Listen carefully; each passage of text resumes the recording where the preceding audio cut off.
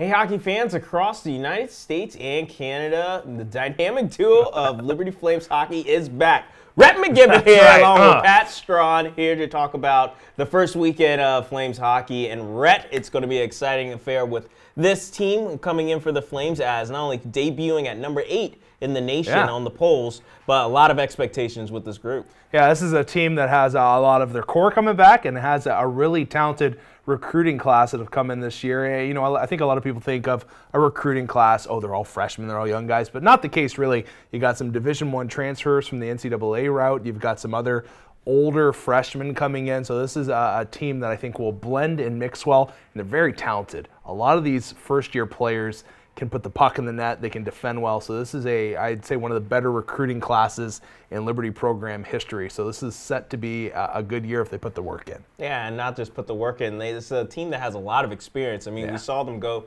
to the national tournament last season, made it to the quarterfinals for the first time in a long time, and also finished the year back-to-back years, finishing in the top 10 of the country. So that experience is really going to bode well for this group. As you just said, the core's coming back. Yeah, you, know, you got guys like Gammer, Bohinski, you've got Pierce.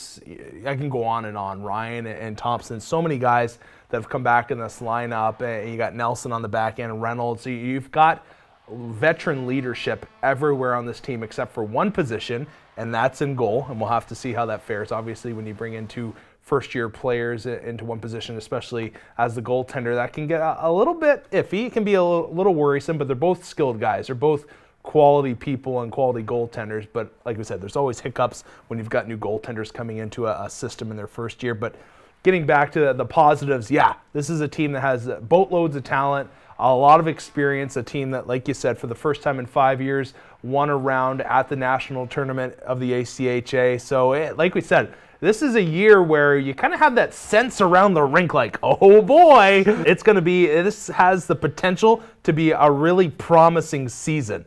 And uh, you kind of get the goosebumps thinking about it throughout the summer. So I'm excited to see things kick off this Friday. I know. Speaking of goosebumps, how about the new captains that have been made for this team? Yeah. Uh, Captain Devin Pierce, the speedster out of Tennessee, he's going to be wearing the C. And then he's got a good supporting cast with the A's. We see Josh Hamilton, Brock Thompson, and also your guy, the Swede, I know. Victor Blomberg. I was really excited about seeing Victor get an A, just the way he plays. Hard nosed, gritty hockey, front of the net, back checks hard. I, I love the way he, he's come on in this D1 program over the past two seasons. And then a great thing for Devin Pierce, you know, he's a guy that has a lot of experience being a, a leader on a hockey team. He's been either captain or alternate captain, and I think his three previous seasons were before coming to Liberty. So he's a guy that that knows how to lead a team, and that's not that's not an easy task. You have to deal with a, a lot of different personalities. You have to know when to speak, when to lead by example, and to have a guy that's that's been there before.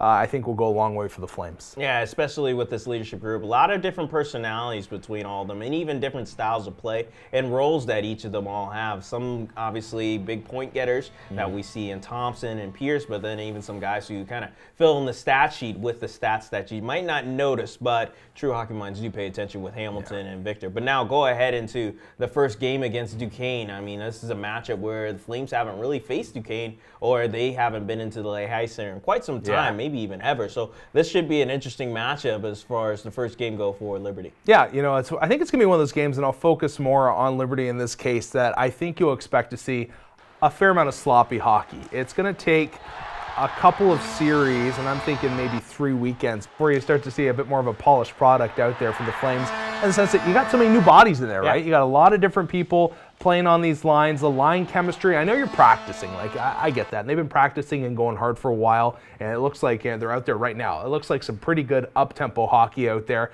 But when you get into the game and you have to know where a guy's at when the pressure is actually on and you're hmm. you're really getting forechecked, you're getting banged on by the opposing team, it takes a little bit of time to adjust and get used to one another.